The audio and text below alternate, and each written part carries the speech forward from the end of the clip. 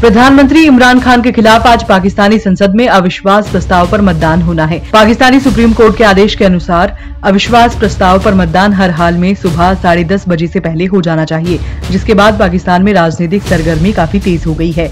एक दिन पहले ही इमरान खान ने आवाम को संबोधित करने के दौरान विपक्षी पार्टियों पर जमकर निशाना साधा था।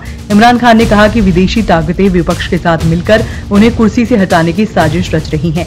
उन्होंने आवाम से रविवार सुबह सड़कों पर उतरकर विरोध प्रदर्शन करने की अपील भी की थी। इमरान खान की पार्टी तहरीक इंसाफ पार्टी से जुड़े डिप्टी स्पीकर सूरी ने 3 अप्रैल को खान के खिलाफ अविश्वास प्रस्ताव को खारिज कर दिया था। सूरी ने दावा किया था कि ये सरकार को गिराने के लिए विदेशी साजिश से जुड़ा है और इसलिए ये विचार योग्य नहीं है। अविश्वास प्रस्ताव खारिज किए जाने के कुछ देर बाद राष्ट्रपति आरिफ अलवी ने प्रधानमंत्री खान की सलाह पर नेशनल असेंबली को भंग कर दिया था। बाद में सुप्रीम कोर्ट ने डिप्टी स्पीकर के फैसले को अवैध घोषित करते हुए खारिज कर दिया था।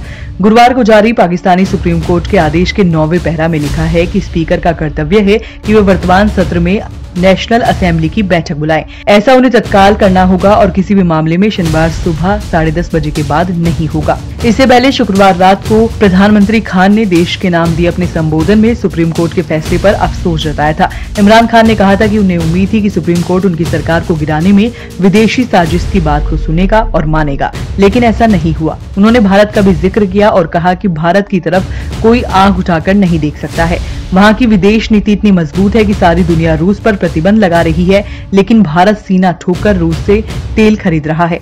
कोई भी देश उसके खिलाफ आवाज़ उठाने की हिम्मत नहीं कर रहा है। वहीं पाकिस्तान में विदेशी ताकतों के इशारे पर विपक्ष नाच रहा है। इमरान ने कहा कि वो बाहरी ताकतों की बिठाई गई सरकार को कभी मंजूर नहीं कर सकते हैं। इमरान खान ने कल ही अपने पार्टी सांसदों और कैबिनेट की भी मीटिंग बुलाई थी। इसमें विदेशी साजिश में शामिल सभी नामों की जाँच के लिए एक आयोग को गठित करने का फैसला लिया गया है। इमरान खान के पास अब सीमित विकल्प ही बचे हैं। ऐसे में अगर इमरान खान बेज्जती से बचना चाहते हैं तो उन्हें पद से इस्तीफा देना होगा। लेकिन तब भी विपक्षी पार्टियों के पास नेशनल असेंबली के बचे हुए कार्यकाल के लिए सरकार गठन करने का मौका होगा।